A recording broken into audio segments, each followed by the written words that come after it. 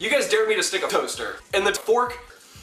Ah! I think I got electrocuted. Prank calling a fork, taking a mouth, and more things you guys dared me to do in the super glue. I guess I wasn't thinking because the last thing you want to do is get a fork in the toaster. Someone.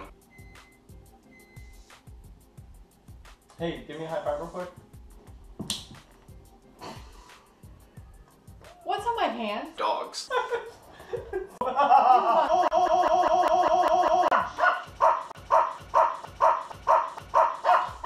oh my for this next challenge, you guys dare me to have another eating competition with my dogs. Right now, we're gonna be having round two of the eating competition between me and my dogs. Last time, we took down some hamburgers and Bonzo ended up the victor.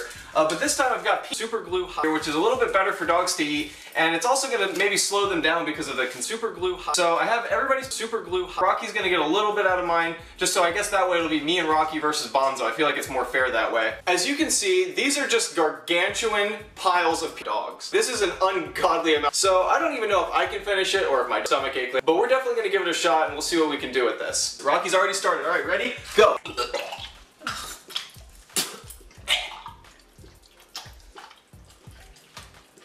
my dog's vomiting, Facebook or Twitter, vomiting. And if you're down there anyways, maybe you could like the video, subscribe if you've if you've if you've if you've if you've if you've if you've, if you've yet to have done that. And as always, I'll be seeing you guys in just a few days with a new video.